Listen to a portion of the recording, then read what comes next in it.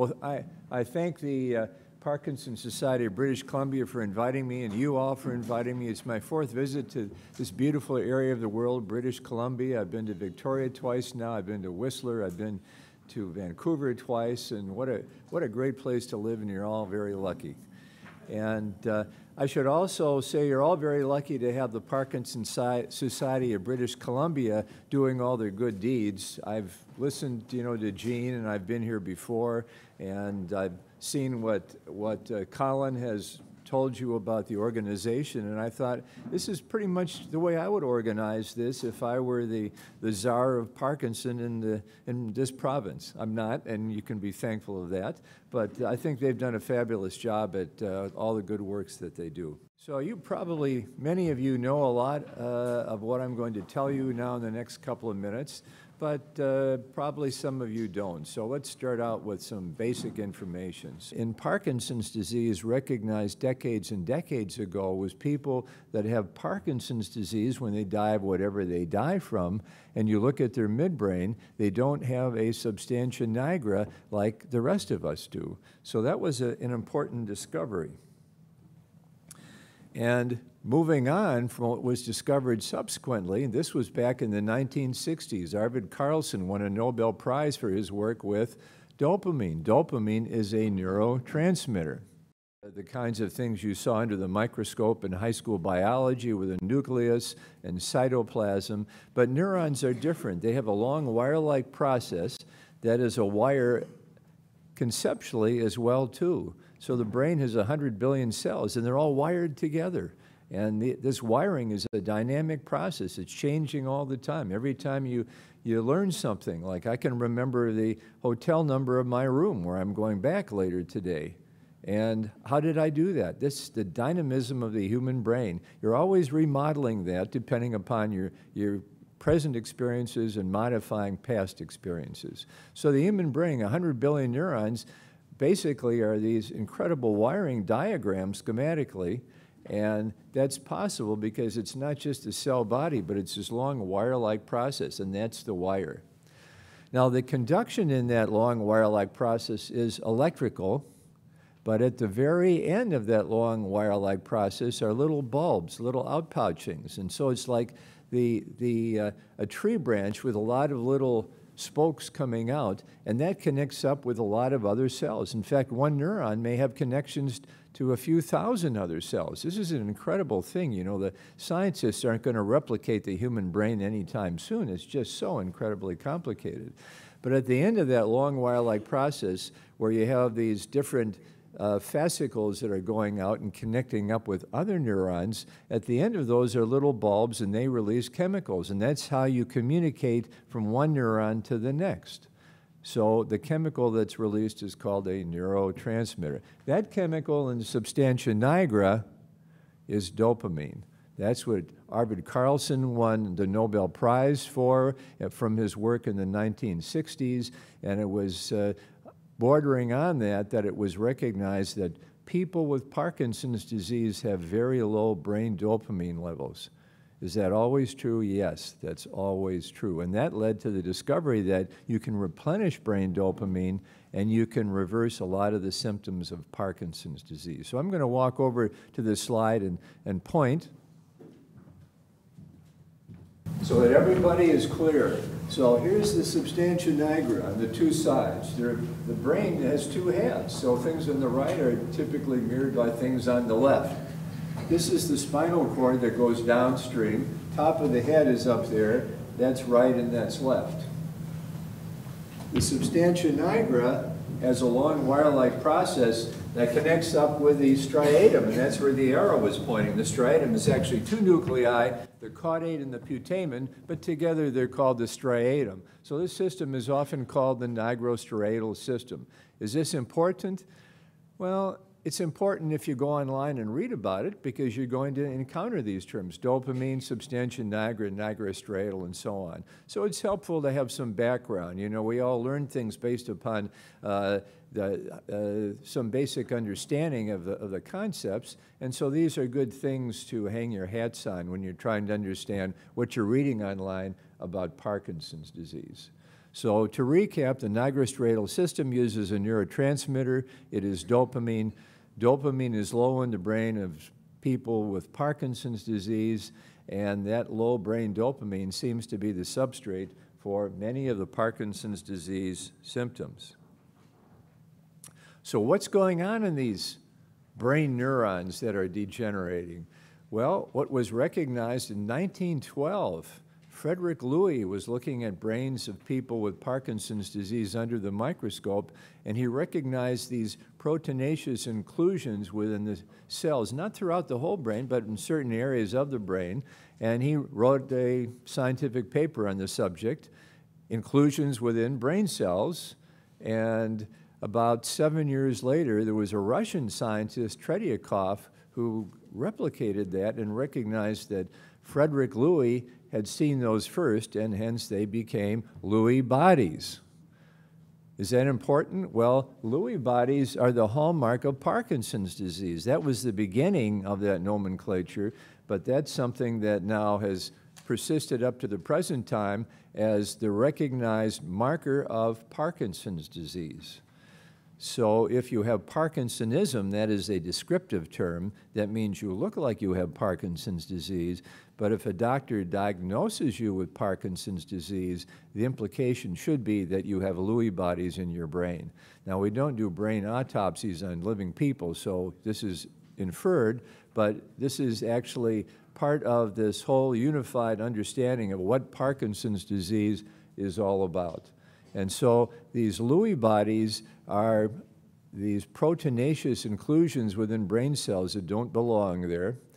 There was uh, a, a, study that was done several years ago in Seattle. John Leverenz and colleagues uh, with mass spectroscopy broke down the constituents of Lewy bodies. Turns out there are about 200, not, not about, there were 296 things that were identified in that mass spectroscopy study. But I'm not going to talk much about alpha-synuclein, but that seems to be a major component of what is in Lewy bodies. And in the question and answer session, if you have more uh, interest in learning about alpha-synuclein and Lewy bodies, we can uh, go into that. But I'm not going to digress.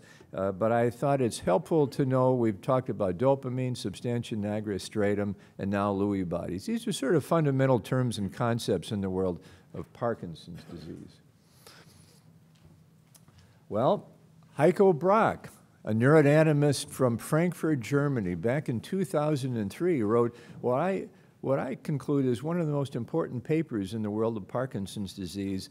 Nobody really looks at the data in terms of the, the overall global thing that's going on here. Well, Heiko Braak did that, and he recognized that if you see the spectrum of Lewy body disease, there's actually a broad spectrum that starts out very early in life, before you get the motor symptoms of Parkinson's disease. And in fact, he says that once you get the motor symptoms of Parkinson's disease, the movement problems, the slowness of movement, the stiffness, uh, tremor most of the time. The majority of them come down with the Lewy body process most of the time, Parkinson's disease. So this is presumably an early forerunner of Parkinson's disease.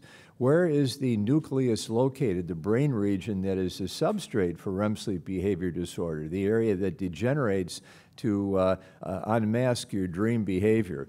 Well, it's probably about in this region of the brain, the brainstem. And, and this arrow here, it was, this is from Braak's paper, 2003. And basically what he says is that these early signs represent the early stages of Parkinson's disease that do not involve the substantia nigra, which is at this level, I'm pointing to the midbrain, but they start in the brainstem, the olfactory bulb, and you can see here olfactory loss, loss of sense of smell, can be early, a very early sign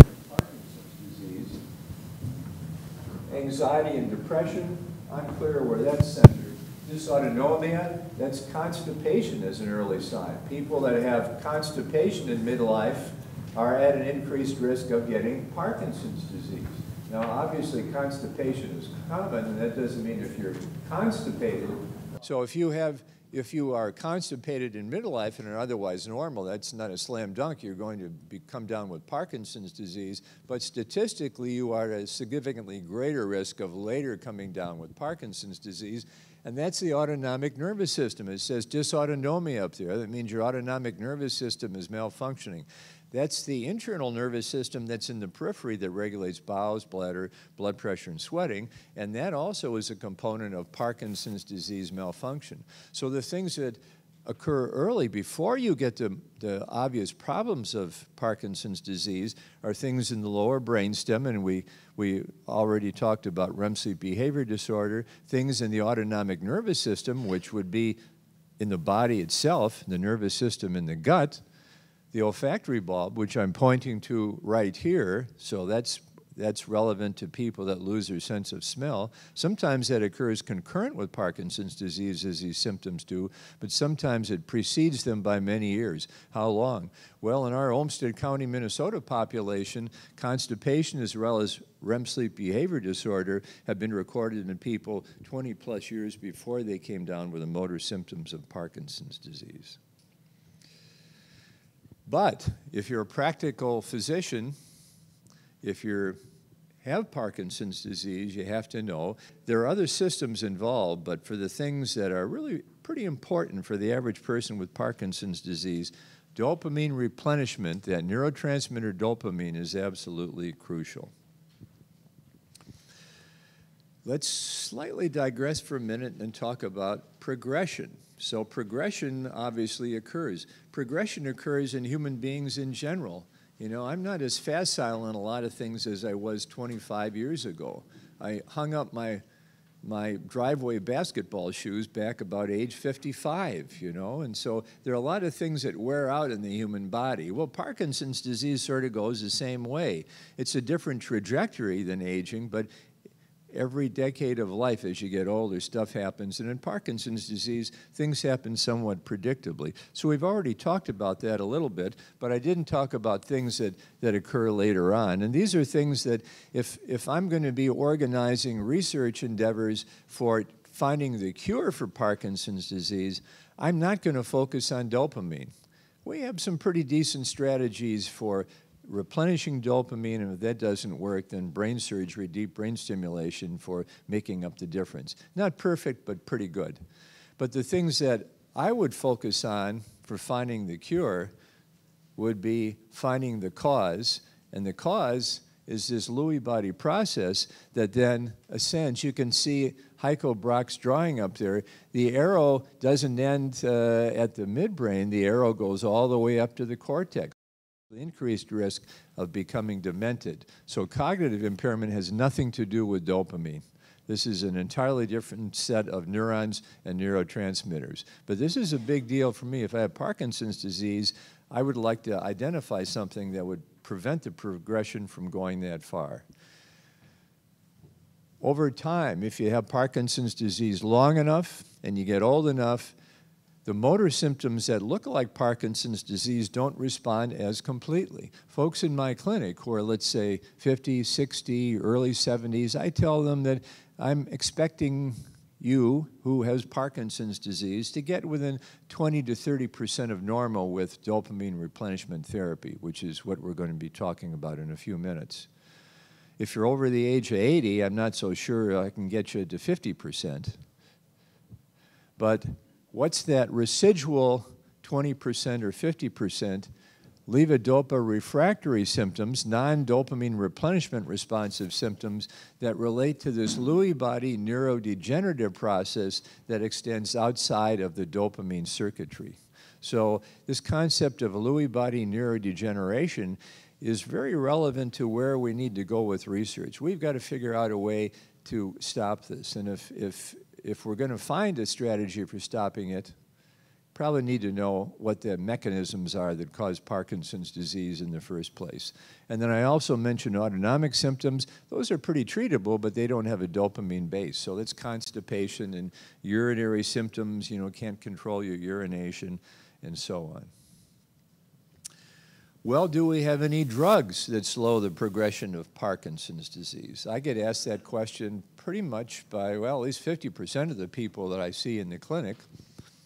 So I put together this table here that enrolled at least 100 patients, and sometimes many more than that, that looked at drugs that some smart scientists thought may affect the, that may get at the cause of Parkinson's disease. And there's a whole host of different drugs here. They're not at all related one to the other. And it turns out they were all failures. 11 drugs, 11 major clinical trials, each costing, you know, more, well more than a million dollars and uh, with large numbers of patients, and they really didn't translate into anything meaningful. Well, these were helpful because if you know what doesn't work, I mean, you're sort of 10% of the way there. I think we're also learning that just, uh, you know, throwing darts blindfolded at a dartboard probably isn't really a productive strategy. You need to know a little bit more about what is causing Parkinson's disease. So, I mean, that's helpful to do these studies, and that's becoming recognizable as well, too. Now, having given this talk before, there's always someone in the audience that says, well, what about Azilect, rasagiline? So I put that on here. So rasagiline is the Adagio study, which is right here, and there was a tempo study before that. All these studies have these acronyms, you know, so everything in the world of medicine is consensus panels and committees that do things like name things, you know. So the Adagio trial related to rasagiline, which is Azilect, and the initial interest was that this might be a drug that slows the progression of Parkinson's disease, and Teva Pharmaceuticals uh, petitioned the Food and Drug Administration to allow them to advertise this as slowing the progression of Parkinson's disease, and that was the reason they did the Adagio study. That was sort of a study that, if you read it, your head started to spin halfway through, and by the time you got done, you know, you're ready to go to sleep. This is so complex and so confounded, and I would say almost uninterpretable in terms of the outcomes.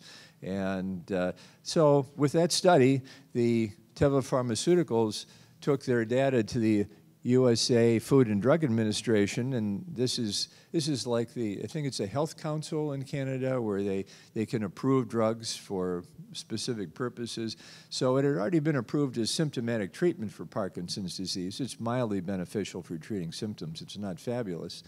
But they, they wanted the ability to advertise this as slowing the progression of Parkinson's disease. If they could, if they could say that this is a billion dollar drug, you know, this is one of, the, one of those blockbuster drugs. So the Food and Drug Administration, as they always do, they, they uh, convene a uh, panel of experts relative experts in different areas to listen to the argument from Teva Pharmaceuticals. And after all the discussion was done, this group voted 17 to 0 against approving Azilect for slowing the progression of Parkinson's disease. Well, I never had the faith in the first place, but if I tell you that, then you probably are going to say, well, what does he know? But at least the FDA had 17 people that, that agreed with that viewpoint. Well, I said we don't have any drugs that are, that are proven to slow the progression of Parkinson's disease, but we have one thing, and you already heard from Colin about exercise. Now, in the U.S., you know, we've, we've become, you know, the people in this room, they're, everybody looks like they're in pretty good shape here. If I give this talk to a group of folks who are middle-aged on up in the upper Midwest, Eh, people don't always look like they're in fabulous shape. So you can see here that we've become a society that watches too much TV. We're on our iPads and our computers and our iPhones, and we're playing video games and sending text messages, and we're online Googling things. Well, that's all fine and good, but if you do that to the exclusion of, you know, just being active, then that isn't so good for your body. So people don't intuitively, you wouldn't come up with a conclusion that exercise would slow the progression of Parkinson's disease. You get maybe a couple hundred people, and a hundred are in the exercise group, and the other hundred are randomly assigned to the other group. So it's a randomization process. Now, the exercise group, just knowing how humans are, they're not going to be too inclined to exercise. If, if that may be different in British Columbia, but I can tell you in Minnesota, you know, this is going to last about two weeks, and then people are going to go back to old habits again.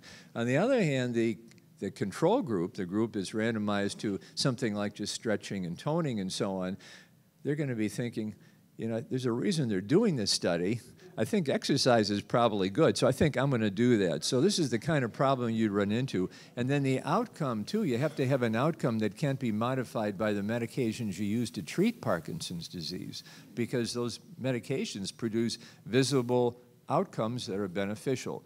And it's hard to control for that. And you can't tell people you can't be on any of these medications. No, who would who would be silly enough to volunteer for that kind of a study? So you can see this study can't be done. So I'm going to argue indirectly that vigorous exercise, aerobic exercise, there is good evidence that that may slow the progression of Parkinson's disease, that it has a direct effect. Now, I don't think any medical doctor would argue that the second point here, it reduces hardening of the arteries, atherosclerosis. And brain aging is uh, heavily influenced by small vessel especially, but also large vessel hardening of the arteries. And nobody would argue that exercise helps uh, reverse, helps limit the manifestations of hardening of the arteries, which is atherosclerosis. Animal studies. We've got two slides on animal studies. The animals are rats or mice. And, and doing, an, doing a study with rats or mice allows you to do a couple of things. Number one is you can chop off their heads and measure brain chemicals. All right, so you can see why we're limiting it to rats and mice. Second of all, if you've ever had hamsters or mice, your kids have had them, you know if you put a running wheel in the cage, you can also use treadmills too. You can put a rat on a treadmill, and then the treadmill's going, and the rat pretty quickly realizes you got to keep going or you're going to fall off into the pool of water at the bottom. So there are different ways of, of doing these studies, but it's a very reliable way to exercise animals. And then at the end of that study, after a few months, then you can measure things directly in the brain. Well, what's been measured? These are, this is not intended to be introductory biochemistry, but these are things that if you just think about the name, BDNF, brain-derived neurotrophic factor, GDNF, glial-derived neurotrophic factor. Glials are the, uh, the supporting cells uh, within the brain. Neurotrophic factors, in this context, are like putting fertilizer on your lawn. So if you have some nitrogen-based fertilizer, you're going to have this tall grass that your, your son or daughter is going to have to cut three times a week if you put enough on there. Well, brain-derived neurotrophic factor, BDNF and GDNF, are just like that in your brain. And in fact, it was, oh, about 10 years ago that there were a number of studies done in the U.S. where they put volunteered Parkinson's patients got cannulas in their brain and they infused GDNF, thinking that this is going to be good for Parkinson's disease.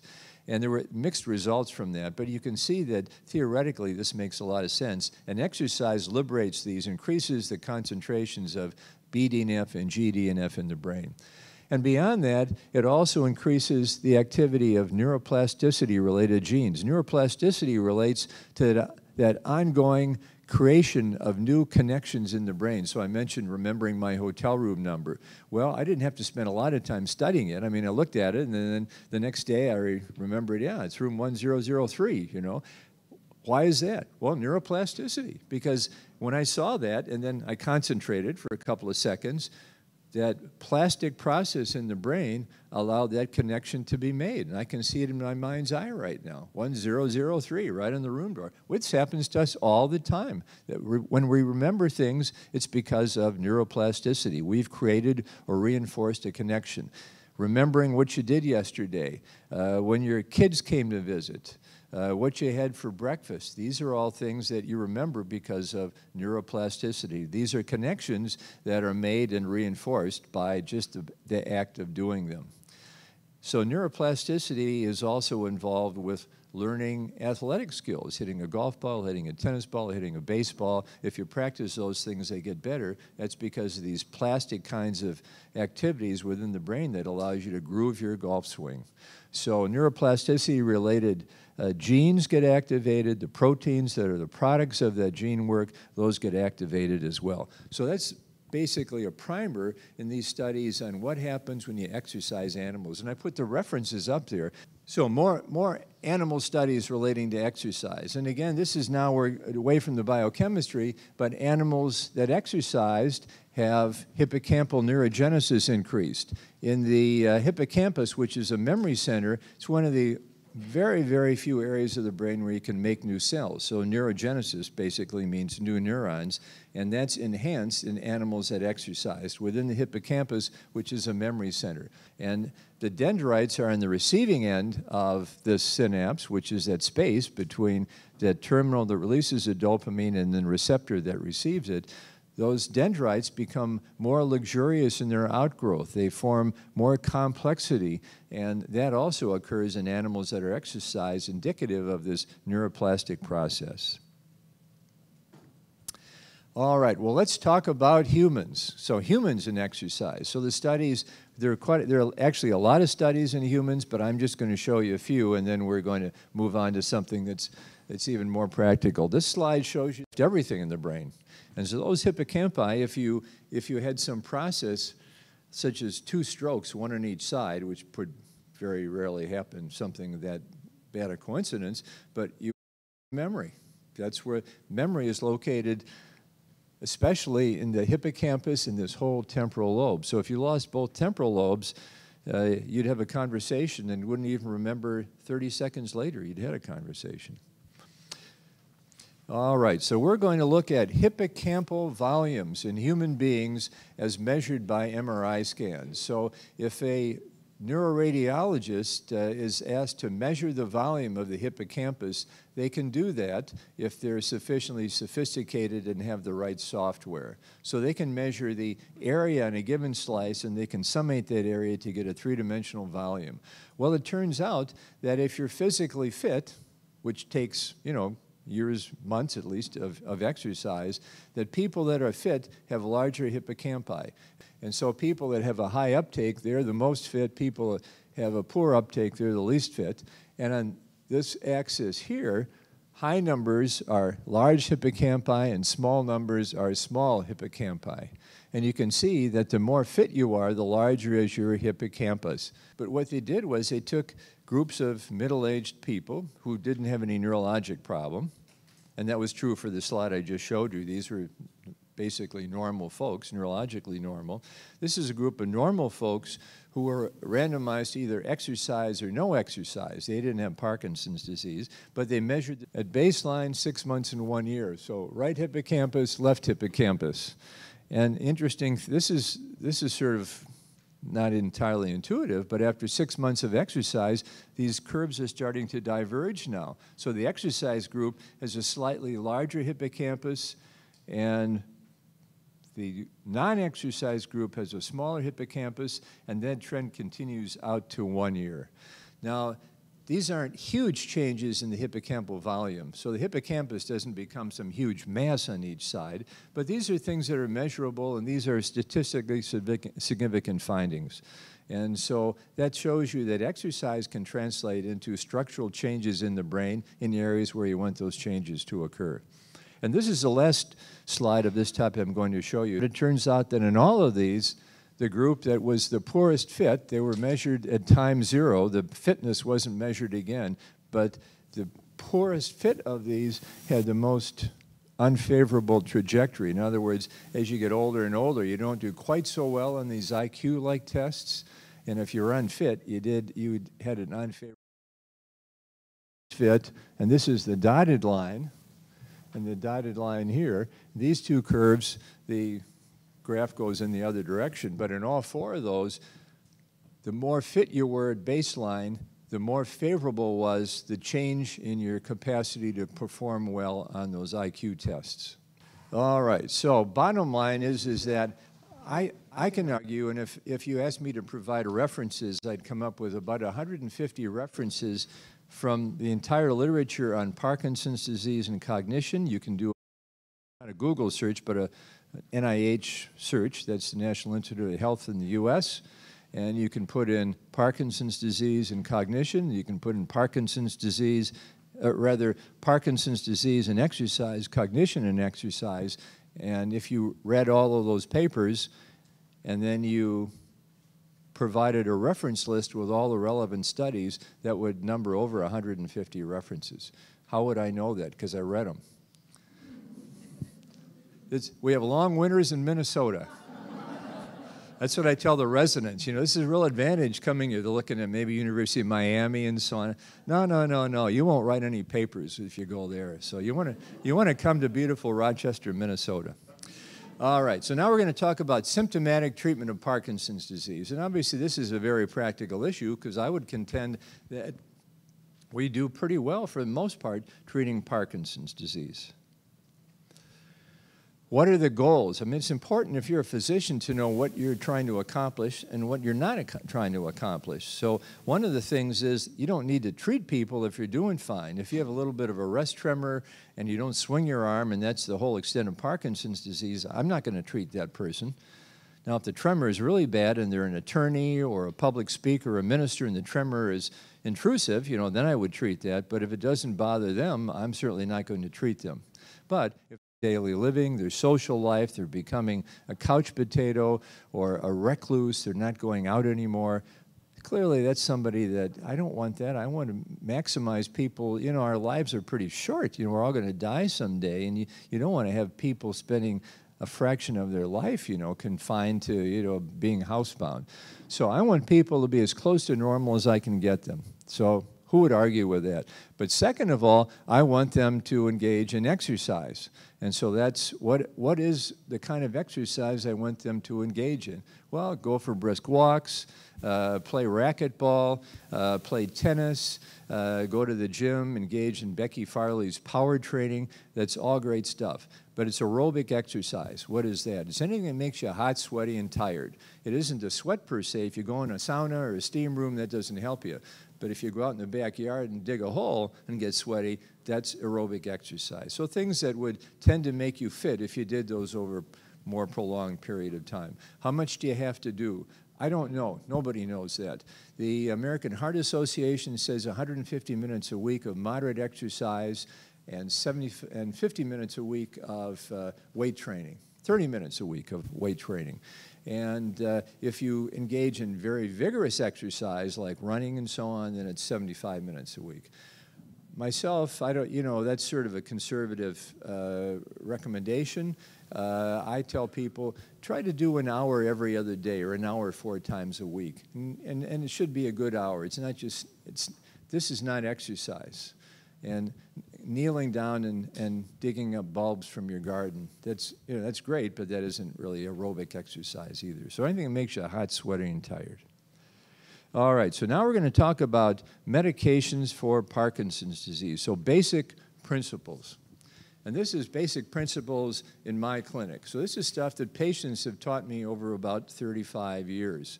So and if you're a physician, and I have the good fortune to work at the Mayo Clinic where I am allocated enough time to talk to people and listen to people.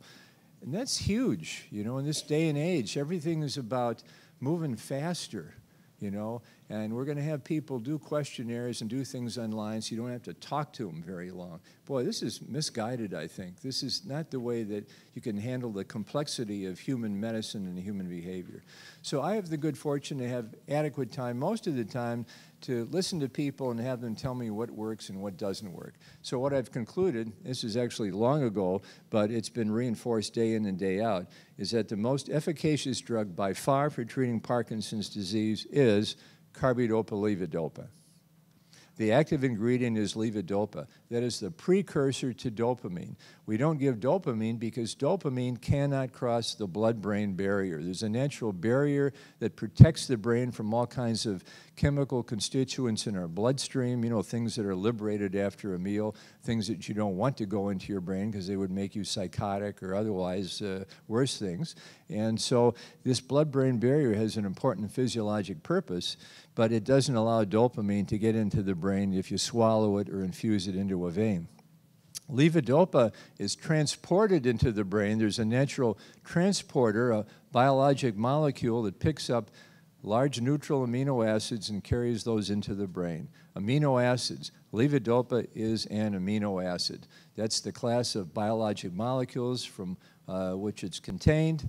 You all have levodopa in your, in your body and you have amino acids and all the proteins in your body. All right, people are going to ask, well, what about the synthetic forms of dopamine? I've listed them here. Pramipexole, which is Mirapex, Ropinirole, which is Requip, Neupro patch, which is rotigotine.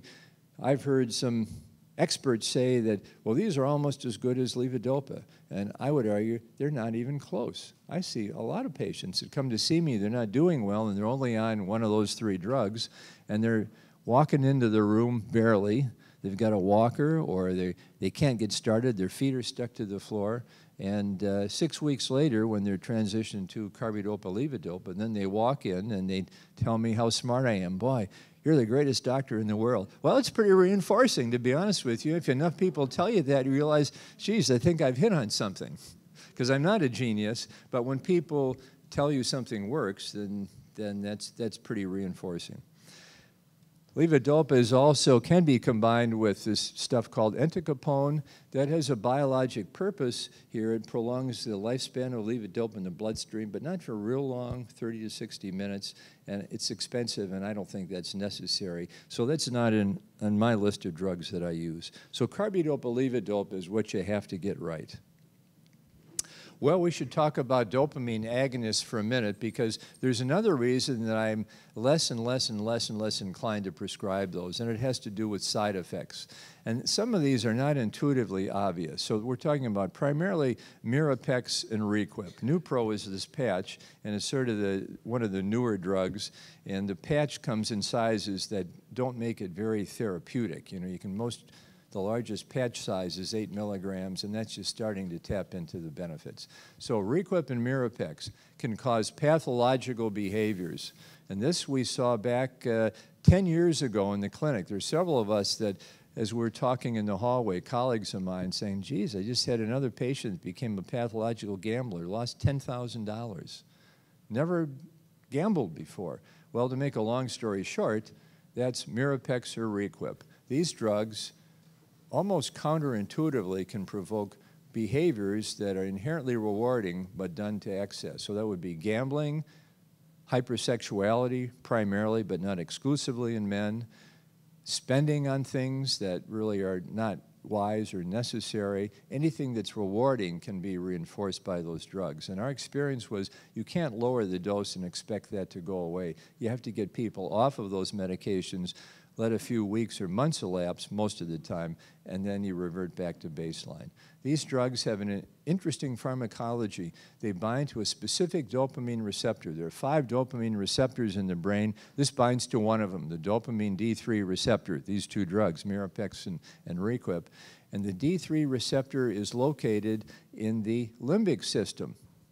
In fact, when they wrote the original paper, when the D3 receptor was closed, cloned, the, the molecular biology team knew where these D3 receptors are located, and they put in the abstract. These are largely confined to the limbic system in the brain, the dopamine limbic system. What is a limbic system, you might ask?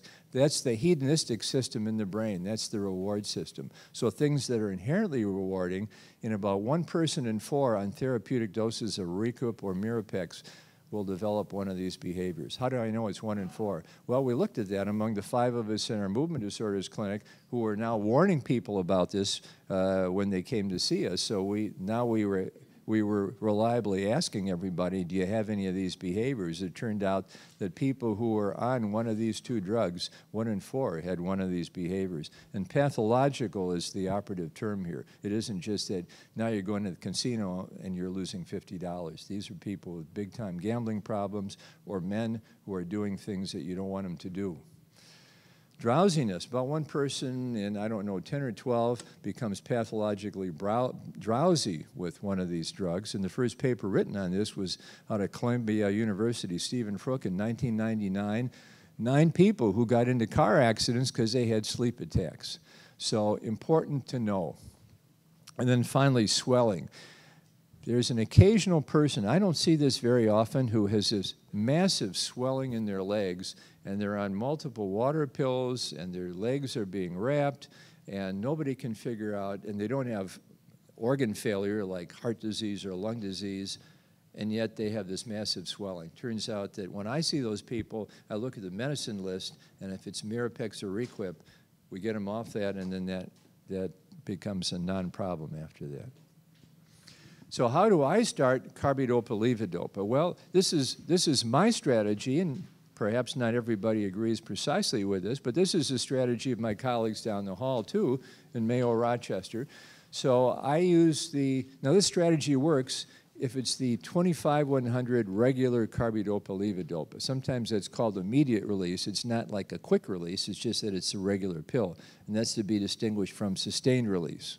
Sustained release is also controlled release. So Sinemet CR really is a fun, it's the same active ingredients, but it's formulated in a way that is, doesn't correspond to this. So for this to work, it has to be these pills. Now I've got in there yellow. Is yellow important? Well, I don't care if they're yellow or purple, but the fact of the matter is if they're yellow, then you know you're getting this kind of a pill. At least in the U.S., all the 25-100 regular carbidopa levodopa pills are yellow. So sometimes people don't know what they're taking, and I'll say, what color is your pill? And when I ask them that, if they say, yes, it's yellow, then I, I know what they're taking. So I tell them, you need to take it on an empty stomach. Is that important? Yep, that's really important. And I start out with one tablet three times a day, but I tell them that one tablet three times a day is usually too low to do much good, but we have to start low. And then we build up. Every week they add a half tablet to all three doses, and most people find the best effect by the time they've gone through this whole scheme. Now, they might realize they were doing as well on one and a half as two and a half, and you can always go backwards in the scheme, but I have them go up from one to one and a half, two to two and a half, and then I see them back in about six weeks. And, and if they're doing better, which they should if they have Parkinson's disease, then we settle on the dose that works the best. Now, three doses all work the same. Common sense dictates why take the highest if you do as well on a lower dose. So it's no more complicated than that. I don't have people go higher than three tablets at a time because I have not seen anybody who's convinced me they do better on four tablets at a time or five. So it's really between one and three tablets each dose. Here's something you read online. Save levodopa for later. You may, you may want it when you're 60 years old or whatever. You can't save this. There's no evidence you can save these responses by taking it later. And I think just the opposite. If you withhold it, then in the long run you don't do as well.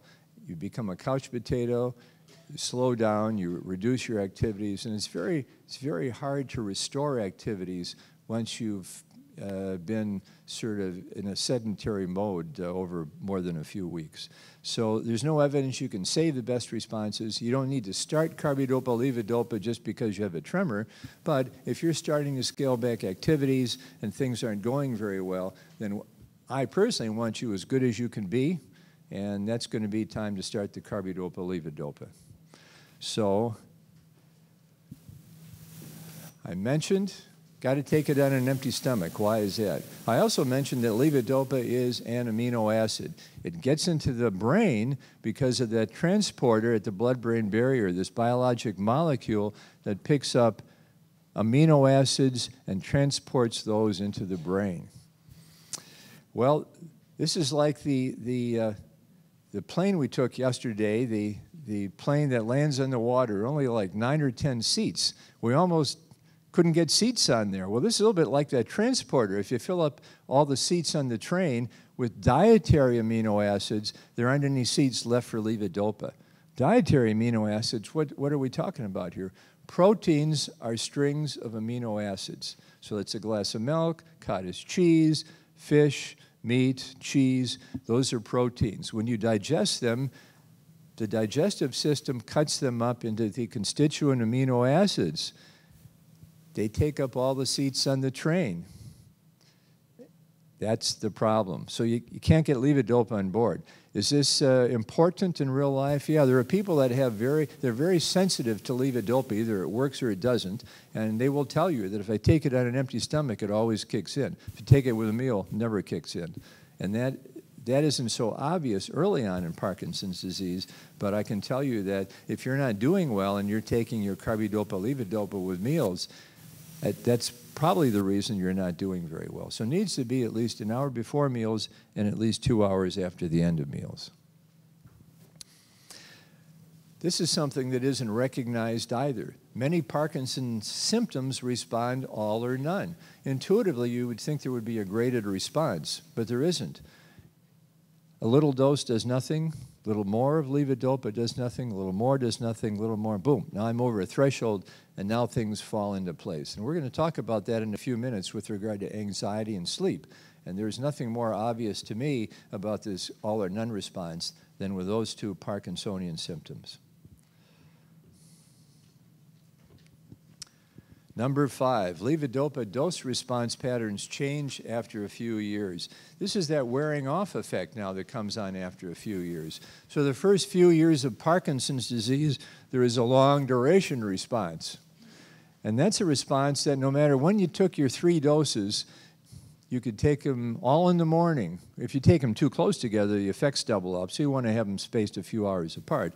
But you could take them you know, every three hours, every six hours, every eight hours, or took all of them bedtime and during the night. As long as you got all three doses in per 24 hours, you'll have the same nice stable response. By the same token, if you're on a stable dose and you realize, boy, I'm really doing a lot better, if you stopped it, if you have a long duration response, you might be pretty good. One day, two days, three days, but then about a week later, the wheels fall off the wagon.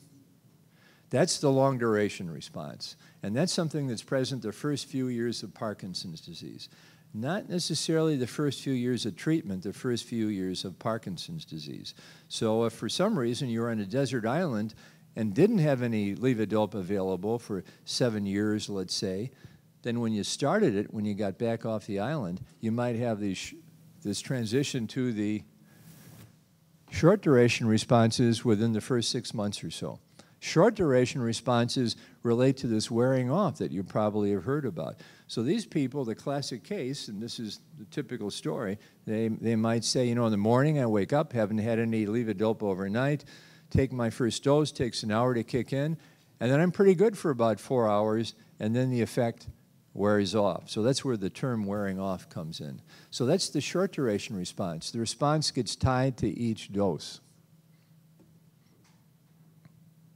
So here's the schematic that illustrates that, and you probably have already figured this out, but now these are just cartoons, so these aren't actual measurements, but the upper graph depicts what should be going on in the brain with brain L-DOPA levels. So you take a dose right here, and the L-DOPA level rises and then kind of plateaus and drops off, and the response, which is Parkinsonian signs, behave time locked to that response. So you take a dose, the effect lasts a while and then it wears off. What do you do about that? Well, the typical person, you know, I might, this might be somebody that I initially started levodopa, they were doing well, let's say for, oh, three to eight years, and then they come back and, and they'll say, boy, this is terrible. I've got tremor and I can't walk very well. My feet are stuck to the floor. And then sometimes I'll realize, geez, you just walked in here. You look pretty good today. I'm not seeing any tremor and you're walking okay well, you should have seen me yesterday or an hour ago or something like that. That's a tip off for doctors that good some of the time, not good the rest of the time. And patients have selective memories. What they tell their doctor is, I'm doing terribly. And sometimes you have to have this sort of physician's intuition that maybe, you know, it's been a few years since you've had Parkinson's disease onset. Maybe you've got a wearing off response, and the problem isn't that you need more levodopa, which you, in my clinic is virtually almost never the case but it's that the effect is wearing off. So you need to take the doses closer together. So here's, here's the strategy. You need to choose the dose that works the best and then use that at intervals that match the response duration. Now, why did I put that up there, the dose that works the best? Because online, this is stuff that you might go online and read about Parkinson's disease. I've seen this more than a few times. They say if you're going to use levodopa more often, take lower doses dead wrong because of the threshold effect. You know, that little does nothing, little does nothing, little more does nothing, little more, and boom, now you're over the threshold and things fall into place. So the dose that, that I've identified in the clinic early on, two tablets each dose, two and a half each dose, originally three times a day. Now if people come back and I figure out they only have a four hour response, I'm going to use that same dose. If it's two and a half, that's the dose because I want the dose that works the best. If we lowered the dose, now they'd be below threshold. Now they'd be bad all day long. So you want the dose that works the best, and then you have to figure out how long does the effect last. And the idea is that as one dose is wearing off, the next one's kicking in. So if you time it just right, then you're kind of maintaining a stable level of levodopa and dopamine in the brain, which is the whole strategy. I used this slide uh, previous two lectures in Victoria and Abbotsford, and, and questions led me to increase the size of these, the font here. Don't worry about the number of doses or tablets per day. And sometimes authorities worry about it. Well, you're taking more than eight tablets a day. You know, you better not do that. I've gotten faxes from pharmacy plans that say, Did you know your patient is taking more than eight tablets a day? And, you know, I don't know how you respond to that, so I write a note there. I know that. Higher doses don't last longer. So if, if you, two and a half tablets last four hours, four tablets is going to last four hours and 15 minutes. So all you do if you raise the size of the doses is you use a tendency to make people a little bit overdosed, which is dyskinesias, which we're going to talk about uh, shortly. So find the dose that works the best, and then you take it at intervals that match the response duration. Dyskinesias. So, more stuff you hear online that isn't true. Dyskinesias are worse than Parkinson's disease. That's the last thing you ever want is dyskinesias. That's a lot of baloney. Dyskinesias represent too much of a levodopa effect at that moment in time. They do not relate to the total daily dose of levodopa. They relate to the dose you just took. So Michael J. Fox, when you see him sometimes he's wiggly like this, those are dyskinesias. Dyskinesias are visible wiggliness, is visible wiggliness. Sometimes it's just an arm that might be doing this, or just a foot that's doing something like that. In Michael J. Fox's case, he tends sometimes to be like this. That's from too good a levodopa effect. So if you think about levodopa and dopamine, if you have too little dopamine, you move slowly. If you have just the right amount of dopamine, you move normally. If you have too much dopamine, you move too much. Things that are not dyskinesias that, that need less levodopa is dystonia, toes cramping, cramping of your calf muscles, foot turning in. That means you've got too little levodopa at that moment in time. Dyskinesias are dancing movements, flowing movements. Dystonia is a contracted state.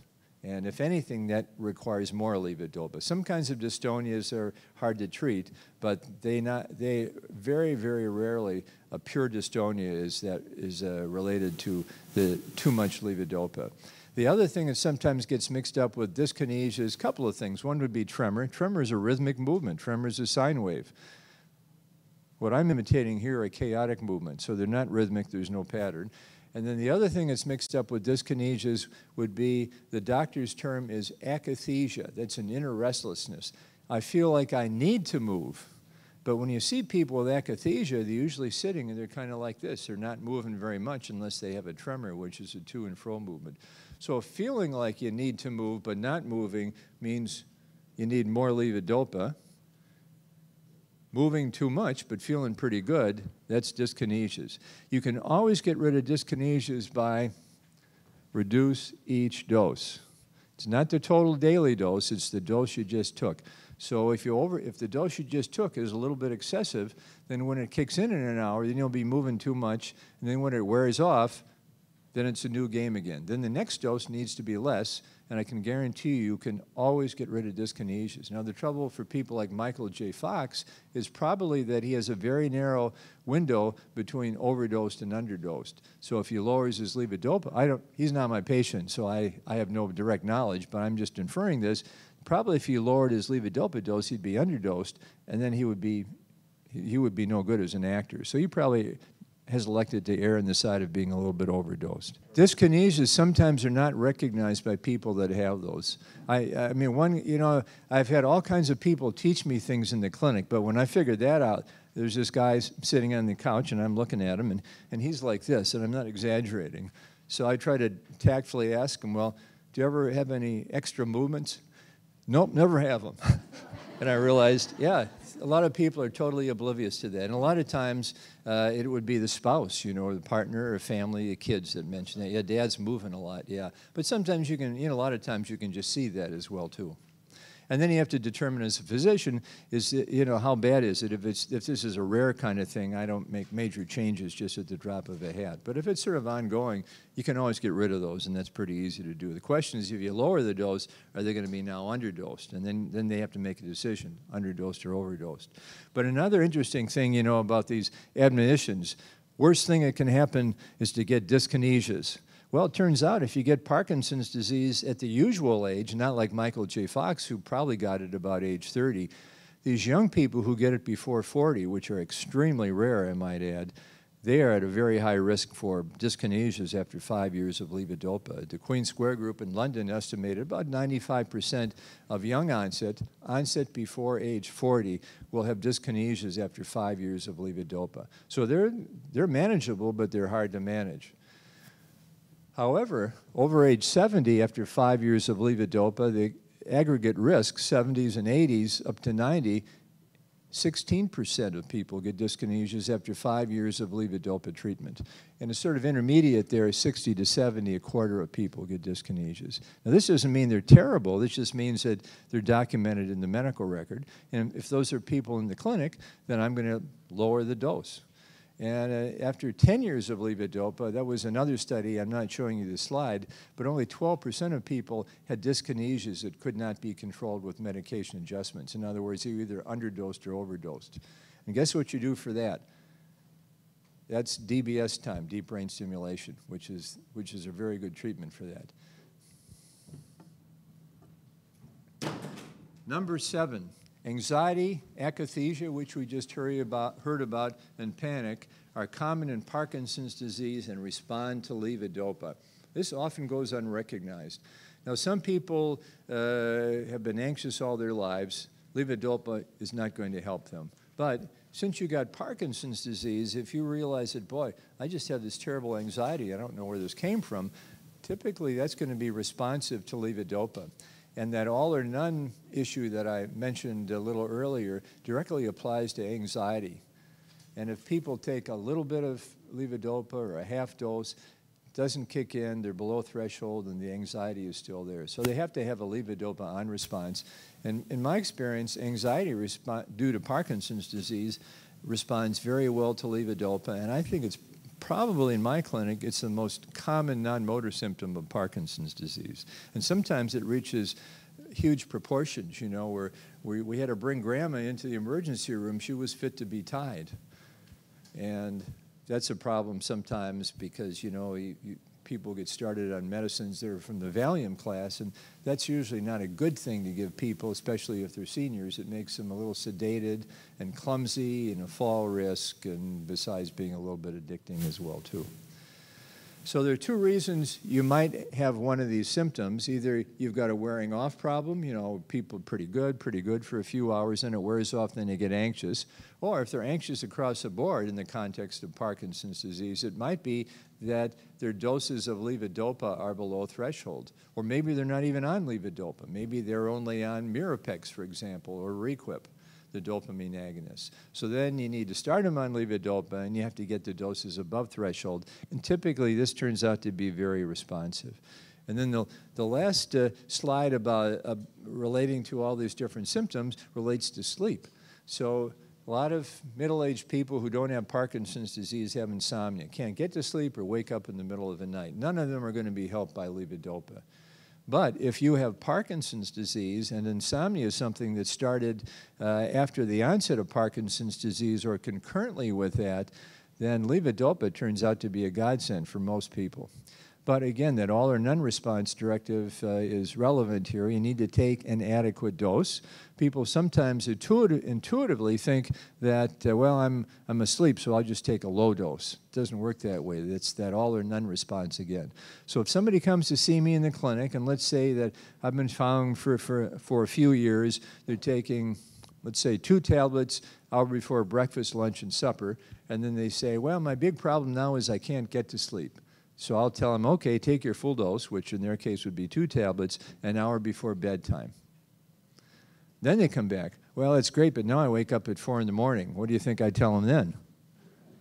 Take another two tablets when you wake up. Now, it does take an hour to work, but that's a simple solution. So uh, it's not infrequent. I'll say, take your full dose, put it on the nightstand with a glass of water. When you wake up, you know, to go to the bathroom or whatever. Then if you take that in an hour, they'll start to work again and you can get back to sleep. Now, there is a role for controlled release, carbidopa, levodopa in that setting, but that's a little bit complicated, so I don't want to make your head spin. But if somebody's interested in that in the question and answer session, I'm happy to talk about that. And the last note in the slide here, cramps. Toe cramps are real common as an underdosed wearing off kind of state or cramps during the night. That means your levodopa effect typically has worn off. Great.